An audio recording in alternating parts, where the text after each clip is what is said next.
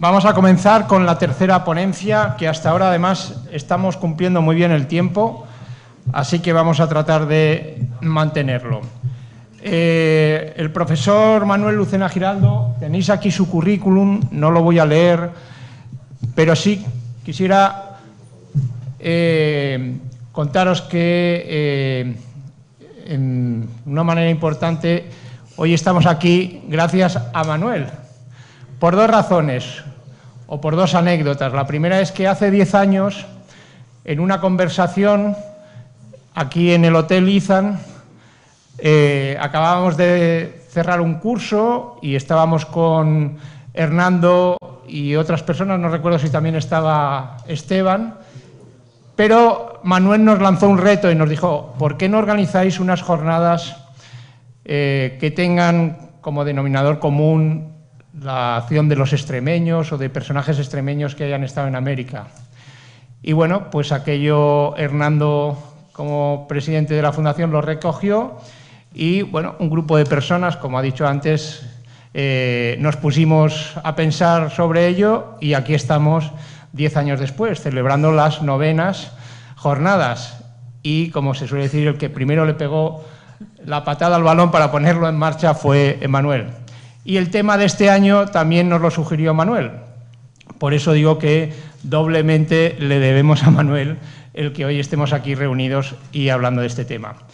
Y sin más, para no robar más tiempo, eh, agradecer a Manuel la presencia y todo el trabajo de sugerir nombres, eh, algunas comidas que hemos tenido en Madrid con Hernando que siempre son muy agradables y estas ideas que siempre nos lanza y con las que bueno, pues hacemos que estas jornadas vayan siguiendo y ya estemos pensando en las del próximo año. Muchas gracias, Manuel. Pues, pues muchísimas gracias, José María. Niego por completo la presentación. Eh, todo lo que ha dicho es resultado de una sólida amistad y bueno, siempre es bonito el poder volver a Extremadura, el poder volver a Trujillo y el mérito es de ustedes por estar aquí y por crear un nicho donde podemos hacer cosas distintas. Eh, cosas que no nos dejan hacer en otros sitios, que no tienen quizá esa capacidad de transversalidad o donde podemos hacer prospectiva historiográfica y cultural. Yo creo que más bien, yo diría que es al contrario. Es un honor el poder estar aquí y compartir pues, con personas con las que llevamos muchos años trabajando y leyéndonos, como Ángela o como Isabel, como mi querido maestro Carlos Martínez Show, eh, pues muchas cosas, y por supuesto con profesores de la universidad como Enrique Moradiellos o como Sigfrido, así que más bien el honor es mío. Bueno, voy a eh, intentar hacer en estos minutos que tengo, eh, intentar mostrar un tipo de aproximación que no es en absoluto disonante de todo lo que habéis escuchado con anterioridad, pensando sobre todo en los estudiantes, en la gente joven que hay aquí, que es la verdaderamente importante, como el, mostrar que hay perspectivas que pueden ensamblarse, que pueden, eh, en mi esperanza, pues enriquecer y fomentar algunas de las cosas que ya habéis escuchado esta mañana. Enfoques de lo que llamamos la historia global, porque, y eso es una buena noticia para empezar, pero la historia global siempre trae dos buenas noticias. La primera, en el pasado, que muchas veces hay enfoques muy melancólicos, muy estereotípicos, muy calamitosos, muy bárbaros, ¿no? Yo creo en sentido eh, violento del término. Bueno, al final, antes de nosotros ha habido suficientes seres humanos con empatía, con simpatía, con amabilidad, con capacidad de conversar y de comunicar, porque si no, no estaríamos aquí. Así que la historia global, por obligación, es optimista, porque aquí estamos. Ha ocurrido algo antes que nos explica en un sentido no dramático, sino positivo. Y en segundo lugar, la historia global es una, eso que llaman los filólogos, y tenemos admirables filólogos en la sala como Isabel, eh, una gran narrativa. Es una, eh, la, historia global supone un intento de explicarnos el mundo global en el que ya estamos, uno puede pensar que la globalización va a arreglar cosas, ser globalista o puede ser antiglobalista. No, la globalización lo va a romper todo y esto va a ser un desastre. Pero al final eh, necesitamos esa gran narrativa y en esa gran narrativa la gran explicación de la globalización lo siento por los tecnócratas, eh, que son gente encantadora, la que se puede aprender mucho, sin la menor duda. Esto solo se puede explicar a base de análisis de la experiencia humana, eh, de la historia, de la cultura, de las capas, de los paisajes culturales. Eso que hay en la ventana son capas de experiencia humana correspondiente con diferentes estadios. Y aprender a leer esas capas es explicarnos qué pasó antes y cómo podemos pensar en lo que sigue, en el futuro. Y en ese sentido, la primera pregunta que nos hacemos desde la historia global tiene que ver con pensar qué ocurrió en 1519, qué ocurría antes y qué ha ocurrido después, y por supuesto cómo la frontera hispano-portuguesa en Europa y ultramar como gran asunto, como gran problema que ocupó diferentes dinastías, diferentes monarcas, diferentes equipos ministeriales, diferentes maneras de entender lo que era una frontera, como línea, como raya, como jurisdicción, como borde, como problema matemático y algebraico, como problema simplemente de negociación con los indígenas, ¿no? como ha mencionado tan brillantemente antes Ángela Domínguez. Todo eso está ahí. Y la primera parte en ese sentido, creo yo, tiene que ver con desmontar el marco legendario, ¿no? que es una vieja obligación de los historiadores. Eh, por supuesto, hay historia, hay verdad en la historia, la verdad de la historia es la verdad del historiador, eh, es la parte científica de la historia. Vaya usted a la biblioteca, eh, como ha hecho Isabel, eh, al archivo de Torre de Tombo y mire el manuscrito 2324, donde después de una hora de espera o cinco minutos de espera, usted va a poder ver ahí qué es lo que Isabel nos contó, y esa es la parte científica de la historia. Y luego está la parte del arte, que es la de narrarlo, narrarlo bien, narrarlo para que te entiendan tus contemporáneos y los que no son tus contemporáneos. Eh, la buena noticia es que el historiador, en este caso, es un escritor. La historia es una rama de la literatura, como la física, la química o cualquier otra disciplina, si entendemos cómo funciona lo importante que es la comunicación humana. Y a fin de cuentas, por eso los historiadores nos interesa desmontar los marcos legendarios. Es difícil hacerlo cuando nos encontramos con imágenes bucólicas como esta, ¿no? Eh, completamente sobrevalorada. Eh, yo lo único que hubiera podido añadir a la fantástica conferencia de Isabel es que hasta la época romántica viajar era un asco, era una cosa horrorosa, nadie quería moverse de su casa. Viajabas por obligación, viajabas porque te mandaba la familia, a la cual no sabías nunca si ibas a volver a ver. Y los europeos son héroes del viaje en ese sentido, eh, sabiendo que hay una teoría del viaje completamente hipervalorada. Eh, eso de que la gente mejora viajando es otra mentira, hay mucha gente que se estropea viajando. De hecho, la ilustración europea lo que intenta probar es lo contrario.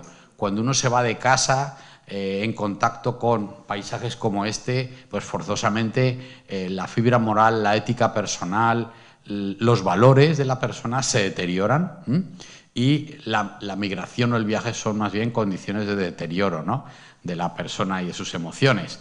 Pero aquí tenemos estas imágenes, las Molucas, Ternate y Tidore, o cómo en España hemos construido un marco conceptual de lo que ocurrió entre 1492 y 1519, 22, que parte de fascinaciones historicistas como esta, el famoso cuadro de Garnelo de 1892, que podéis visitar en el Museo Naval, en que siempre lo que decimos, Carlos, es que si Cristóbal Colón hubiera llevado un abrigo de pieles como este, no hubiera hecho nada más en su vida. Desde luego no hubiera vuelto, hubiera sido completamente imposible. En todo caso, hoy tenemos, comillas, la visión providencialista de la historia tal y como nos la cuentan. Al otro lado, los descubiertos que se acercan. Es una escena bíblica, evidentemente, esto es lo que todos podemos entender. Estos cuadros del siglo XIX, todos son versiones laicas de narrativas bíblicas, que es de donde venimos, en nuestro libro fundacional en términos culturales en Occidente. Y por supuesto, lo mejor que se podría decir es que el cuadro es una preciosidad y una maravilla, pero en realidad nada pudo haber ocurrido así y que cuando Colón llega al islote de Watling en las Bahamas, más o menos creemos que fue allí, desde luego las cosas no ocurrieron de esa manera.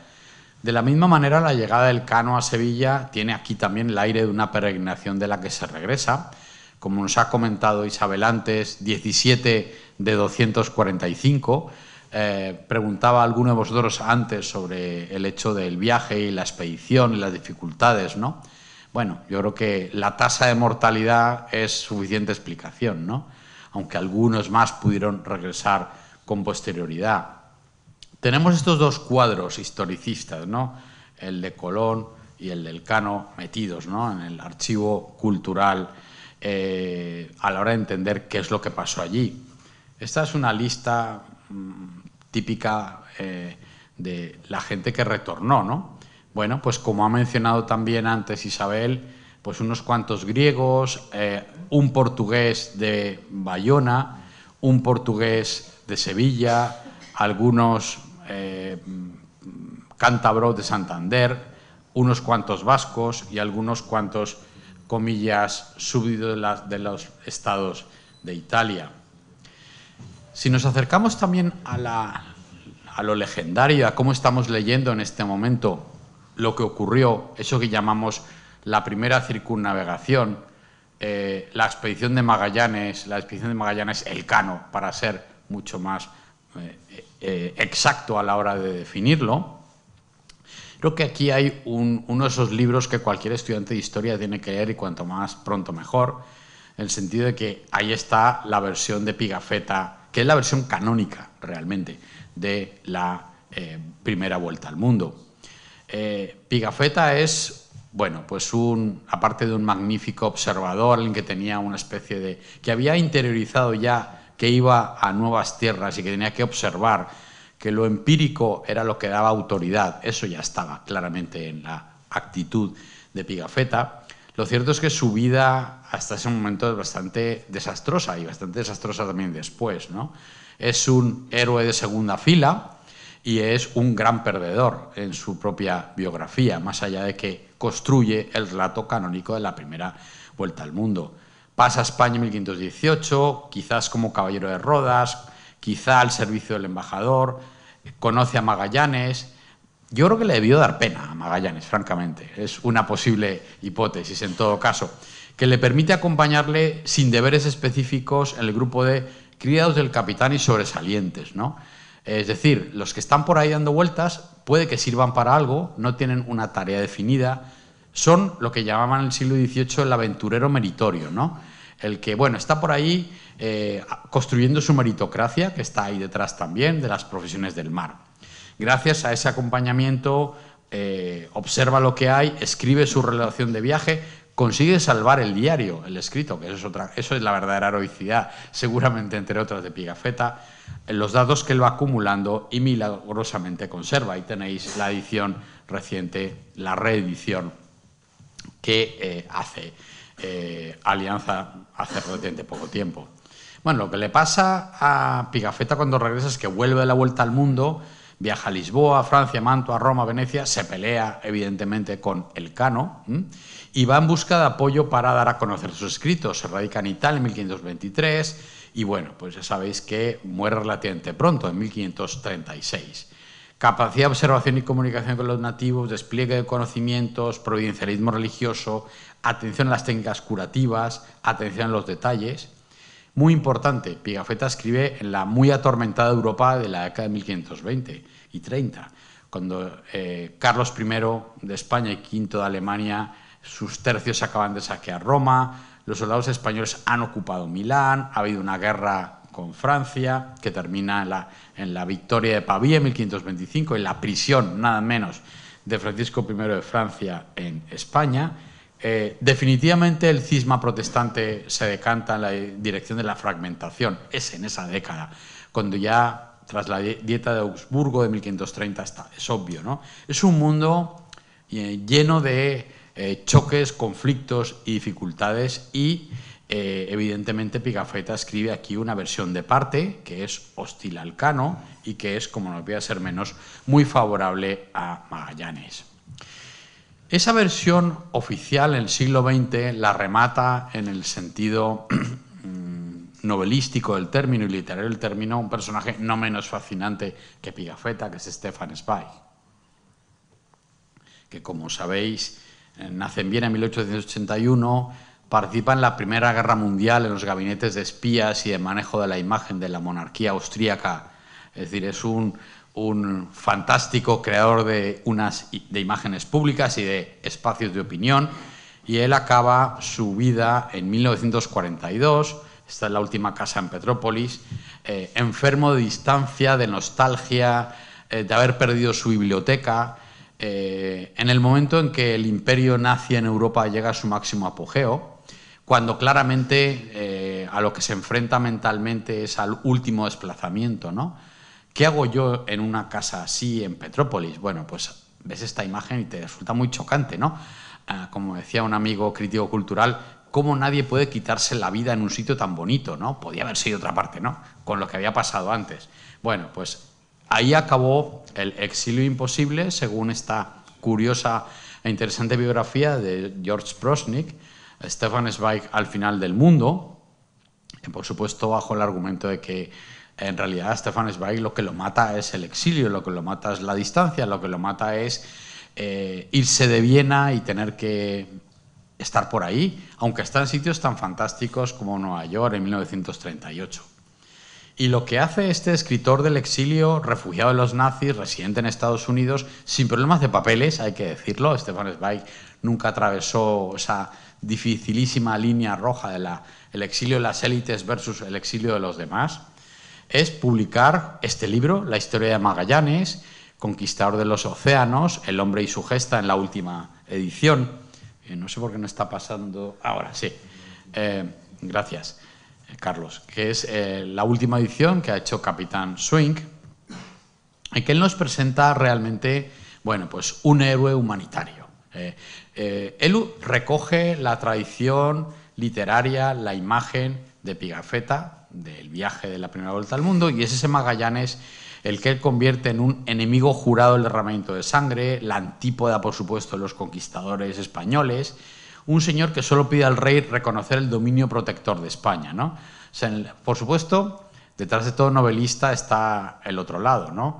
Eh, nos está contando una versión de la Vuelta al Mundo y de Magallanes que es como él quiere verse, como él se ve para sobrevivir.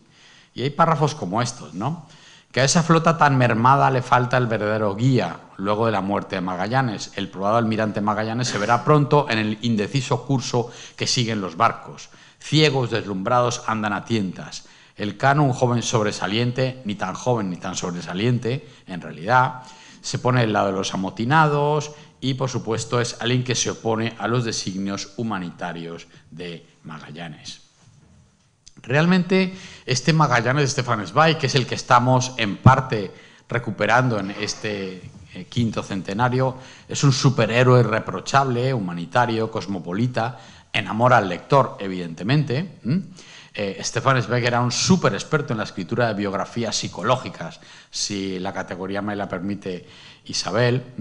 Y está, por supuesto, es una historia de pasiones humanas, es una ficción está cargado no de argumento y explicación, sino una trama de pasiones en las cuales para que haya un bueno tiene que haber un malo, para que resalte. Y aquí al pobre Elcano le queda, por supuesto, el papel de taimado traidor. Hay párrafos como este. Eh, a Zweig no le parece nada complicado regresar desde las Molucas tras la muerte de eh, Magallanes a España. Nada hay muy difícil a primera vista en el encargo de gobernar un barco desde las Molucas a España, sírvase usted mismo, ¿no? Diríamos, Isabel. Bueno, porque ya desde principios de siglo las flotas portuguesas van y vienen periódicamente. Bueno, con muchas dificultades, en el límite de la tecnología, en el límite de la disciplina mantenible en el barco, en el límite de la desesperación. Yo recuerdo cuando tú explicas eso de que no podía haber mujeres a bordo, ¿no? Eh, porque producirían la disolución de la disciplina y la muerte segura de la tripulación, la crueldad de los capitanes. ¿Crueldad o disciplina para sobrevivir en esas circunstancias? Bueno, la inmensa dificultad que el cano a arrostrar consiste en que debe prescindir las estaciones intermedias. Hay un dato que se incorpora poco a las mm, revisiones actuales del acontecimiento. En el año 39, vaya año, en el Hispanic American Historical Review, fantástica revista canónica del americanismo, hay una reseña de la novela de Zweig que se releva una maravillosa ficción con algunos datos históricos, mucha de la actual llamada novela histórica hace lo mismo, en que señala quien hizo la reseña anónimamente lo siguiente. Este libro resultó de las meditaciones del autor mientras viajaba por Sudamérica. sobre las penurias de los marinos del siglo XVI, inspirado en parte por su falta de conocimiento. Es buenísimo, ¿no? La falta de conocimiento es una gran fuente de inspiración. El resultado es un libro fascinante que, sin embargo, está sesgado por el culto al héroe. Zweig añade poco a lo que cuenta Pigafetta, excepto imaginación. La historia, sin embargo, es otra cosa. Y por eso creo que es interesante una vez nos hemos salido de los marcos culturales, historiográficos, al menos un poco. Eh, vamos a intentar recuperar otras historias que hay detrás del evento historiográfico. Por supuesto, esta imagen de la época del cuarto centenario del descubrimiento eh, de Estados Unidos, el descubrimiento de América nos cuenta lo que tiene la percepción del evento de la primera vuelta al mundo de providencial, de eh, etnocéntrico en relación con Occidente, evidentemente, y cómo al final esta luz que se expande, ese relato evolucionista y centro-periferia está detrás de las grandes interpretaciones de lo que ocurrió. Realmente, eh, y lo ha mencionado antes Carlos también en alguna de los comentarios suyos, la culminación de la primera vuelta al mundo es el cierre del proyecto colombino en su primera etapa. Lo que facilitan Colón y quienes lo siguen es la reconexión americana al resto del mundo de manera permanente e irreversible. Y aquí hay dos buenas noticias de la historia global. La primera, eh, todos venimos de África. Eh, la historia de la expansión humana desde más o menos eh, unas cuevas de Tanzania tiene que ver con cómo hay dos grandes movimientos. Y la historia global explica, intenta explicar esos dos grandes movimientos. El primer movimiento es el de la divergencia.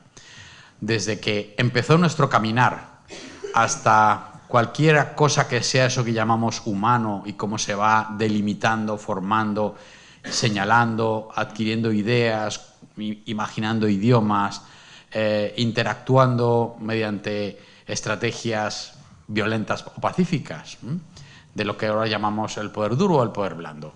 Hasta más o menos, desde 4 millones de años antes de Cristo, por ahí, hasta 10.000 años antes de Cristo, lo que se produce es el gran movimiento de la divergencia. La divergencia eh, termina en ese momento porque en ese momento todo el mundo tiene un vecino. Esos grupos, esas confederaciones tribales, esos grupos de Homo sapiens u otros tipos de especies asimiladas a la hominización, consiguen, conseguimos llegar a todos los nichos ecológicos del planeta. Como ya todos tenemos hacia el año 10.000 un vecino, podemos hacer lo que se hace con los vecinos, que te pueden invitar a barbacoas el fin de semana, que te pueden conversar contigo, que pueden directamente entrar en una relación de intercambio violento de lo que está en circulación. Lo que circula en la globalización son las personas, la biología, los productos, las tecnologías, las emociones y los objetos. Desde el año 10.000 para acá, lo que ocurre es que empezamos la convergencia. La convergencia es la globalización. Las culturas que tienen vecinos no tienen más remedio que empezar a conocerse e intercambiar bajo esa serie de estrategias posibles todo lo que los seres humanos se pueden intercambiar, para bien y para mal. Por eso creo que yo que lo fundamental detrás de lo que tenemos que entender es cómo, bueno, pues eh, al final, eso que llamamos el descubrimiento de América y la primera vuelta al mundo son maneras muy poéticas, muy épicas de señalar el final del aislamiento del continente americano. Y cómo la historia global pone en marcha esa convergencia de diferentes entornos de culturas centrales, la china, la india, la mesoamericana o la mesopotámica, de la cual somos directos herederos los europeos. Y este puede ser un mapa eh, de Eurasia, sobre todo en el año 1000. Quizás mejor todavía, este es el mapa del mundo en 1491. Los chinos son los que más mundo conocen en ese momento en términos técnicos de navegación y, por supuesto, de versión de los acontecimientos.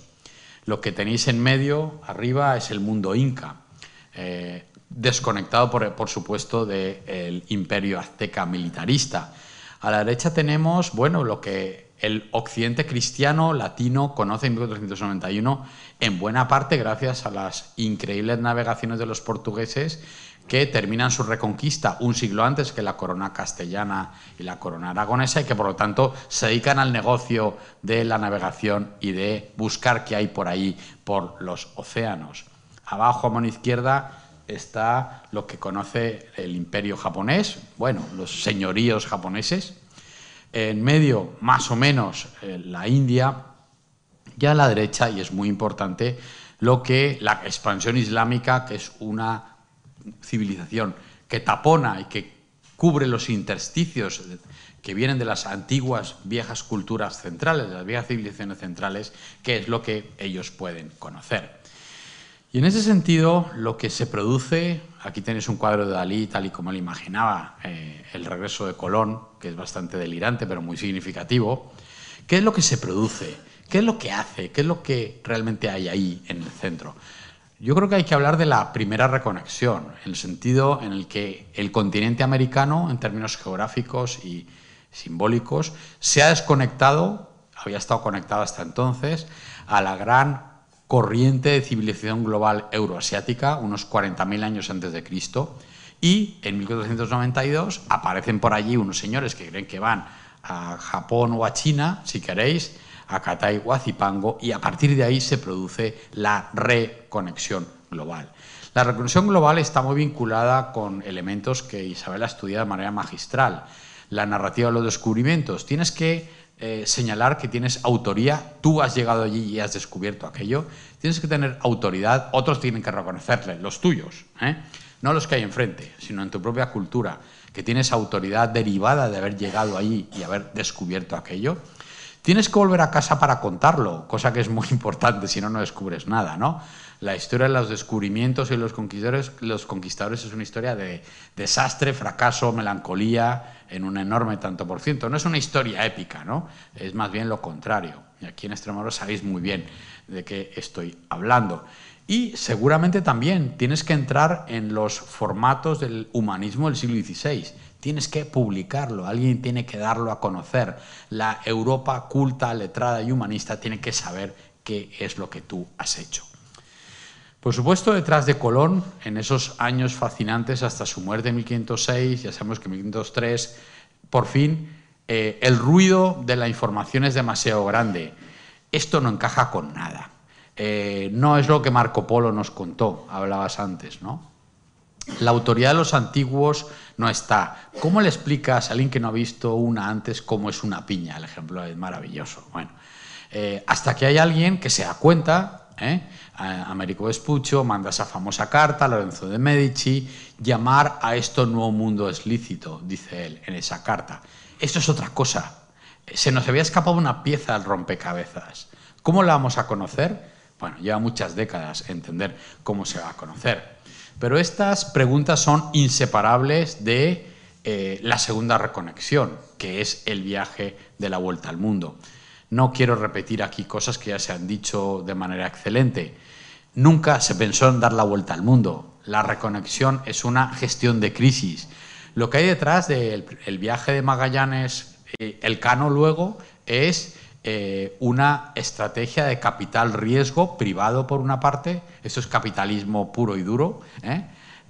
y por una parte, y por otra, unas estrategias adaptativas de la monarquía española que ya había hecho sus deberes para, de alguna manera, gestionar sin, que, sin sufrir demasiado, sin que el modelo de la monarquía autoritaria se menoscabara aún más, que, cómo integrar aquello entre lo que luego mi querido maestro John Elliot va a llamar una monarquía compuesta o compacta, o lo va a definir así. Las famosas capitulaciones de los conquistadores y descubridores no son más que contratos de capital riesgo en los cuales el conquistador pone su pellejo, pone sus relaciones sociales, pone capital y la monarquía se asegura un mínimo control arbitral de la gran empresa de las navegaciones oceánicas. Pero, de nuevo, esto es, y es apasionante que sea así, pura gestión de crisis. ¿Qué es lo que hace Magallanes? Lo, lo habéis mencionado antes y lo habéis explicado muy bien.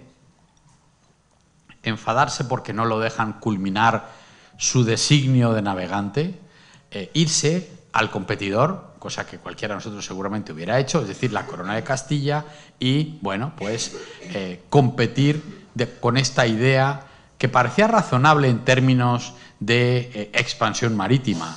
Vamos por la ruta del oeste, que es la que nos garantiza el Tratado de Tordesillas, y volvamos por el mismo camino, en la presunción, por supuesto, de que el mundo no va a ser tan grande y tan ajeno, la humanidad se va a poder conversar con ella y vamos a poder, de alguna manera, replicar hacia el oeste lo que los portugueses han conseguido hacer ya claramente hacia 1518 en el Atlántico y el Índico.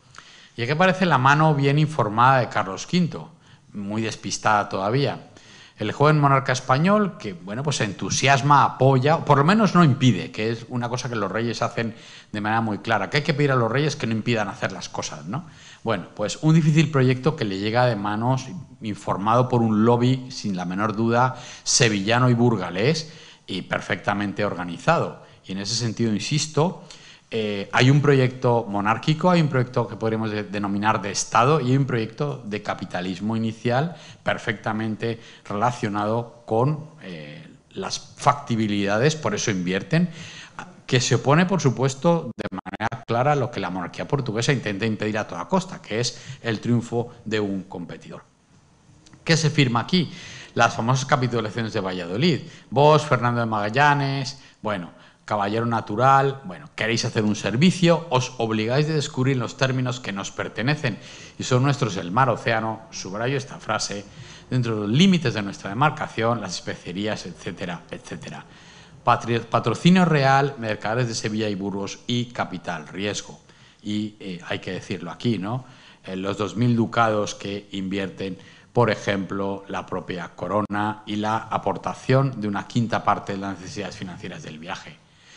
¿Cuál es la sociedad a bordo? Bueno, pues es una réplica de los viajes marítimos que los portugueses han hecho con tanta maestría. Eh, sin mujeres, pajes de nao, grumetes, marineros, contramaestres para las maniobras, condestables para las armas, carpinteros, calafates, despenseros, piloto, maestre y capitán. ¿Quién es el cano en ese momento? ¿Dónde está el famoso fanatismo, el designio del cano? El Cano es un empresario arruinado. El Cano es un superviviente de la crisis. El Cano es alguien que ha querido participar en la empresa del gran capitán en Italia y se ha arruinado en ese proceso. Y por eso tiene que estar allí. Cinco navíos de 75 a 110 toneladas.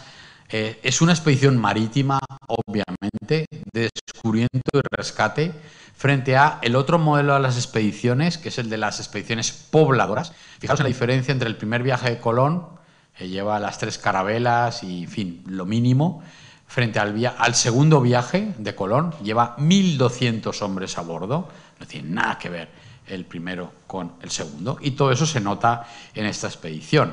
Bueno, no quiero ser reiterativo, pero por supuesto ese es el modelo de Juan Gil ha publicado recientemente maravillosos textos en la Biblioteca Castro sobre esto.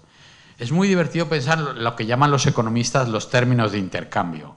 Bueno, sabemos que cambiaron 230 kilos de clavo ¿eh? por 15 hachas. O sea, ¿cuál es la relación que vincula 15 hachas con 230 kilos de clavo? Yo creo que Carlos Martínez no lo va a poder explicar porque si no es él, no lo haría nadie. 35 vasos de vidrio por 230 kilos de clavo, 150 cuchillos, ¿no? ¿Cómo se cambia? ¿Cuál es la base del trueque de los vasos, los cuchillos, las hachas por las especias? ¿Qué llevaban ellos para intercambiar? Telas, bonetes colorados, terciopelos, algo de azafrán, marfil y mercurio. En la presunción de que eso es una mercancía intercambiable en las Molucas. Hay incluso una versión reciente cómic que les recomiendo mirar, de Belaustegui. Esta versión es la de lo que ocurre con el famoso motín, por supuesto liquidado a sangre y fuego por Magallanes, como tenía que hacer, o el famoso paso del estrecho. No quiero reiterar aquí acontecimientos que ya conocéis muy bien. La llegada a Tidore, la muerte de Magallanes por imprudente, como Cook, por cierto. Yo creo que hay una historia no relacionada en el mundo en términos globales de europeos que se meten donde no los llaman, ¿no? Bueno, pues tenemos unos cuantos que les ocurre lo mismo. Y el regreso a la victoria eh, en Sevilla con el regreso, en este caso, de muy pocas personas. El foco un momento en la figura del Cano, ¿no? Bueno, pues Guetaria, Océano Pacífico. A mí me parece muy interesante recuperar la década de 1520 para entender de qué estamos realmente hablando. ¿no? Bueno, en 1526 se casa Isabel de Portugal con Carlos V. Es su prima, es nieta de los reyes católicos y como mencionaban recientemente, la dinastía es la patria. ¿no? Eh, la obligación de la política dinástica y los entramados dinásticos explican las grandes decisiones políticas. Carlos V empieza la década con la guerra de las comunidades de Castilla y la termina con la dieta de Augsburgo, en la cual la rebelión de los príncipes protestantes se hace definitiva. Cortés conquista el imperio azteca, la batalla de Pavía, el saco de Roma. En medio de todo esto, eh, aunque el Cano llega y ya quiere volver al Pacífico, eh, quiere en tres meses tener una expedición organizada y ve a Carlos I y Carlos le da el apoyo, aquello tarda tres años en ponerse en marcha. La famosa expedición de García Jofre de Loaiza, que es capitán general de la Armada y gobernador general de las Islas del Maluco, para que aquí nadie se engañe sobre lo que se pretende en ese momento. El piloto va a ser el Cano y Urdaneta, personaje importantísimo, Andrés Urdaneta va a ser su asistente.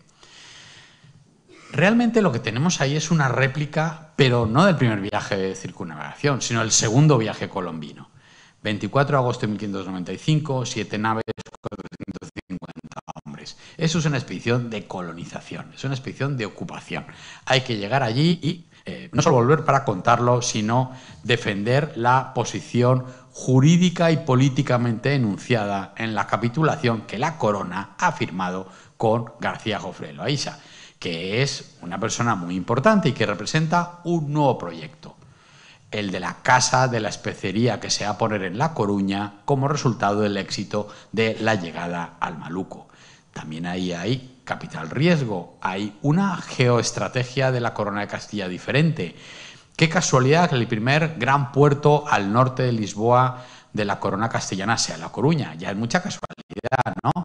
No va a estar en Sevilla, no va a estar en Cádiz, no va a estar en Cartagena, no, va a estar en La Coruña, suficientemente cerca de Lisboa para hacer la competencia, ¿no? Podremos decirlo eh, de una manera más o menos clara.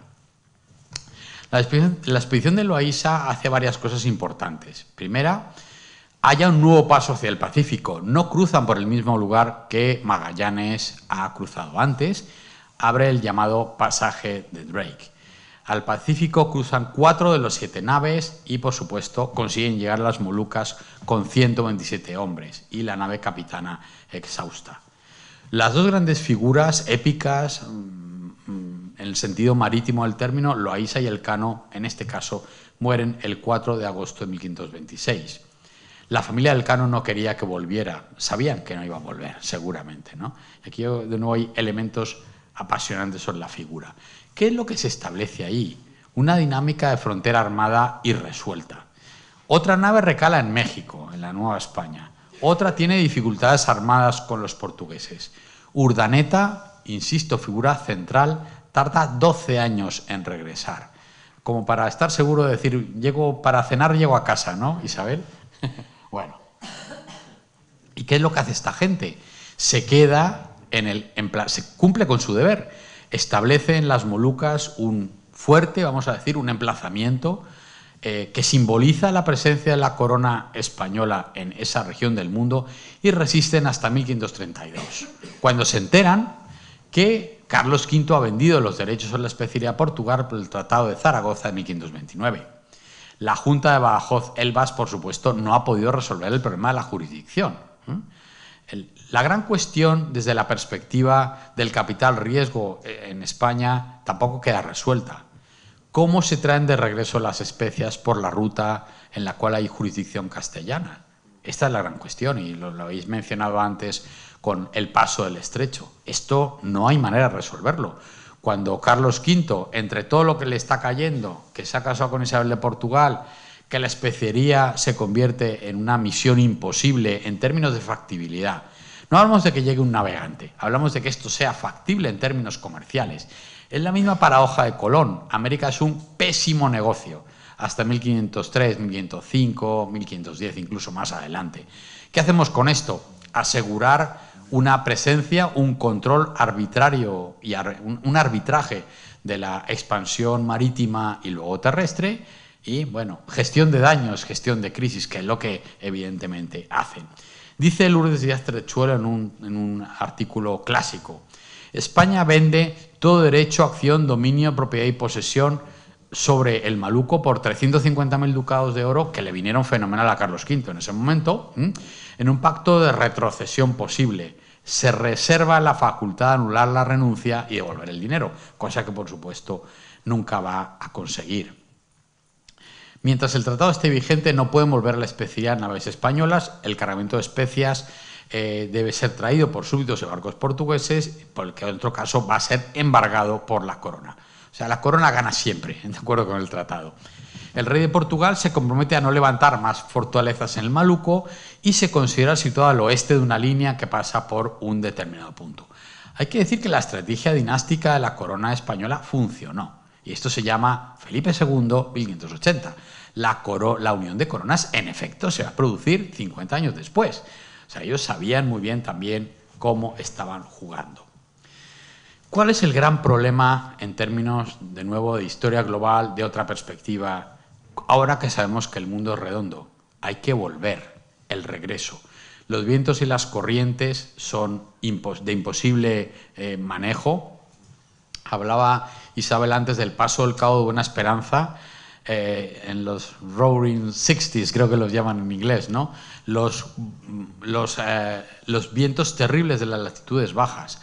Si vais alguna vez a la costa occidental de Australia, veréis que aquello está lleno de barcos de vela que no consiguieron detenerse porque el barco entraba en la latitud en la cual soplaban los vientos que le permitían navegar hacia el este y era dificilísimo conseguir remontar y escaparse de estamparse, si me permitís la expresión, contra la costa de Australia en el oeste.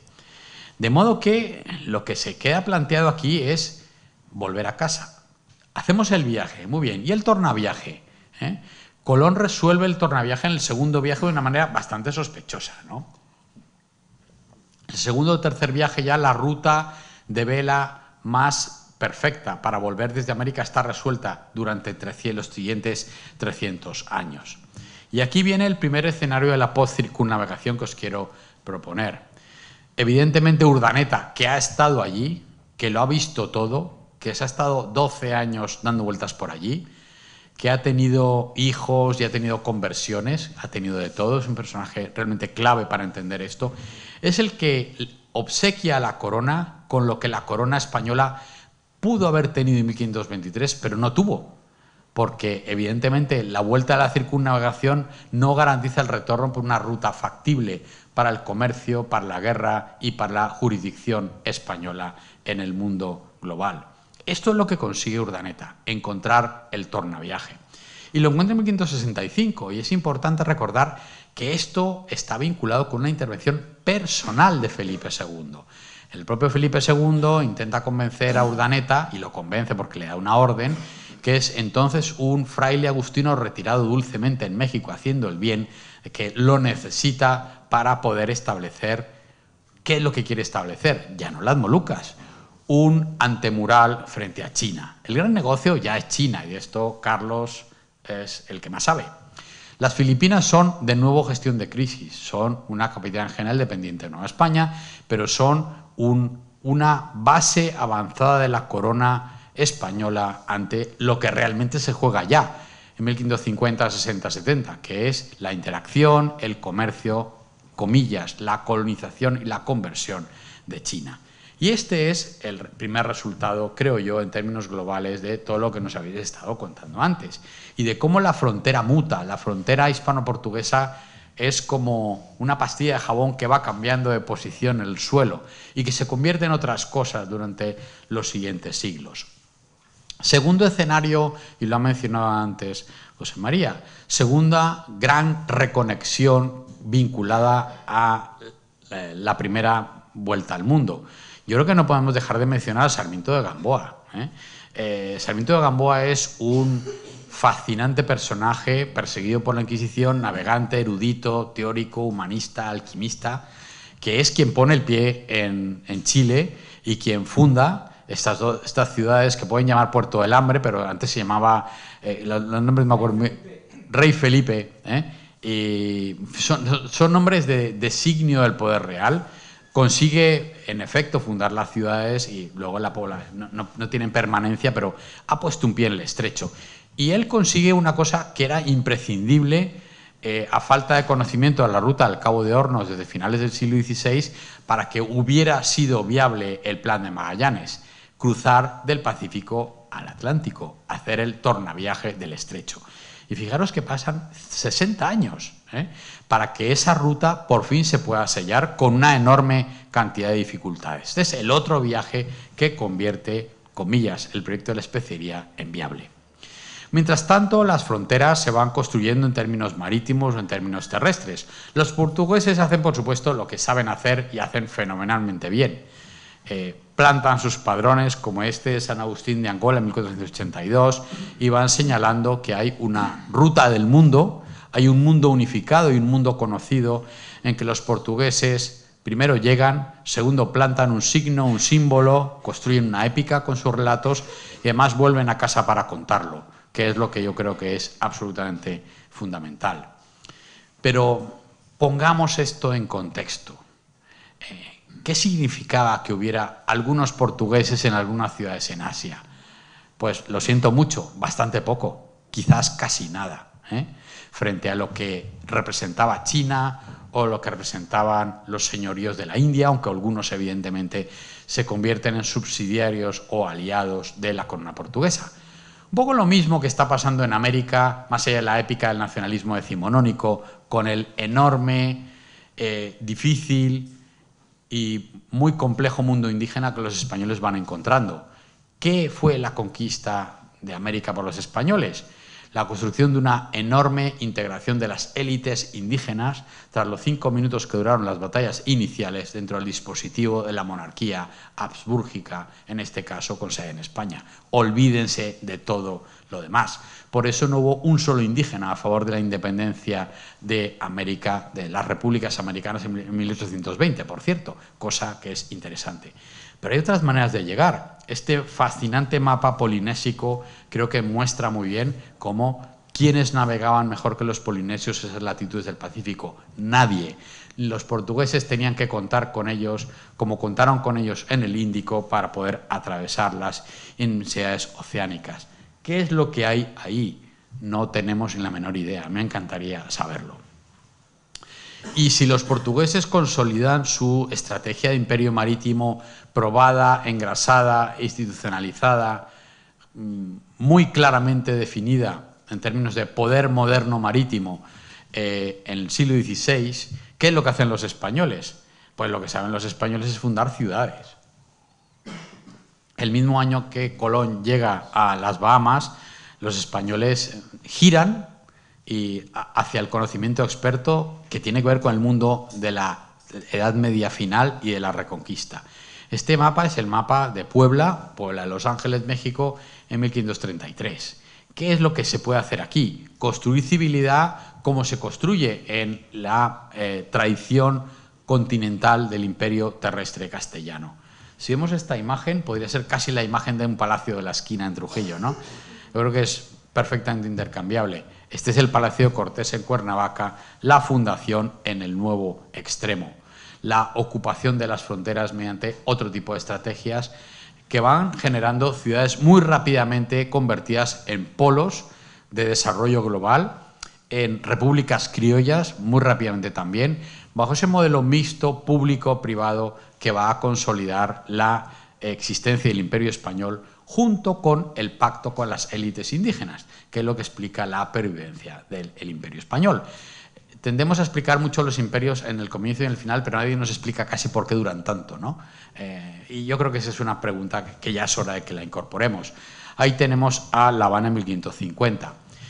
Descubrimos también, en términos compartidos, que hay otros modelos de modernidad vale ya de revolución científica, de Newton que le cae la manzana en la cabeza, vale ya de lo que mi querido amigo Jorge Cañizares Guerra, que está en Texas, por cierto, eh, llama, bueno, pues el giro ibérico, ¿no? O mm, la globalización vista desde otros puntos de vista, como el archivo cultural de la experiencia de españoles, de portugueses y de todos los mestizajes mediterráneos que están detrás y son arrastrados por ese eh, vector de globalización, están asociados a este giro y este cambio de autoridad que viene de los viejos padres, los viejos relatos del mundo, hacia el prestigio de la experiencia, lo empírico y, señores, la ciencia moderna. Quizás aquí de lo que estamos hablando es de esta normalización de la redondez, en esta imagen de la monarquía global de Felipe II en 1572, y cómo al final se ponen en marcha otras muchas cosas, hemos hablado antes de qué fue en realidad la conquista, ¿no? ¿Qué ocurría después de las exploraciones marítimas? ¿Cómo y por qué eh, el colaboracionismo, la negociación, el alineamiento de las élites, los intereses compartidos explican la pervivencia de estos imperios ibéricos? ¿Cómo hay otras globalizaciones? La de las enfermedades, la de los microbios, en fin, la de las emociones, que yo creo que es una globalización esencial para entender cómo y por qué estos extremeños que llegaban de Trujillo o de Medellín se metían en estos sitios y le ponían estos nombres tan bonitos, ¿no? Estoy en el Valle de la Desolación. Claro, si uno de si Almagro le mandaba una carta a su madre y le contaba estoy en el Valle de la Desolación, su madre le hubiera dicho, hijo mío, ¿para qué te has ido allí entonces, no? Para encontrar desolación. Bueno, seguramente estamos hablando de el cambio, la transición de ese mundo soñado, utópico, alumbrado por los navegantes, al mundo de la primera globalización posible, que es el mundo de la monarquía compacta, de, la paz y la obediencia, de la lealtad negociada, el mundo del barroco. Esta imagen a mí me parece fascinante también, porque aquí tenemos a unos, comillas, caciques de lo que es el actual occidente de Colombia, vestidos una imagen y reconocidos por eh, la propia monarquía de Felipe II como gente con majestad, con dignidad, con gobierno, con dominio de sus vasallos. Todo cabe en un gabinete de maravillas, lo sabemos muy bien. El gabinete de maravillas es la metáfora perfecta del mundo caótico, del mundo imposible de jerarquizar y entender, que han alumbrado españoles y portugueses junto con todos los quienes les han acompañado desde las primeras décadas del siglo XVI. Hay, desde luego, múltiples domesticaciones y adaptaciones en marcha. Hay que tener mucho cuidado a la hora de ponderar la velocidad de adaptación. Yo siempre recuerdo aquí que Colón llegó a, comillas, América en 1292, pero hasta 1537 se tomó 40 años el Vaticano en la bula Sublimis Deus para reconocer que esa, esa gente humana tenía alma y tener alma era el negocio principal. La velocidad adaptativa es muy importante, aunque descubrimos también, lo podéis ver abajo a la izquierda, y ese es otro escenario del mundo que nació entonces y sigue siendo el nuestro, el aislamiento implica la indefensión. Quien no está de alguna manera interconectado está, bueno, pues cultural y ecológicamente conectado, condenado a tener menos posibilidades de sobrevivir. No podemos sobreestimar a Occidente. El sello rojo el navío que desde 1592 lleva seda japonesa a Macao, a China, a Vietnam, creo que yo que nos interpela de una manera absolutamente clara. Igual que, y esta es la última imagen, casi la penúltima, la de San Francisco Javier que muere frente a China como Moisés en el Evangelio, como el Cano o como Cortés, mirando quizás un centro del mundo que está ahí, porque siempre estuvo allí. Las fronteras un día se cierran y este es el último, el, último eh, comentario que hago y la última imagen, porque aquello un día empieza a, tener una transición de espacio a territorio y empiezan los procesos, obviamente, eh, de conversión de las monarquías compuestas de múltiples jurisdicciones a las naciones imperiales, que al final sabemos en el caso ibérico no son posibles por factores muy eh, ajenos quizá a lo que estamos contando ya. En todo caso, muchísimas gracias, ha sido sobre todo un honor estar aquí.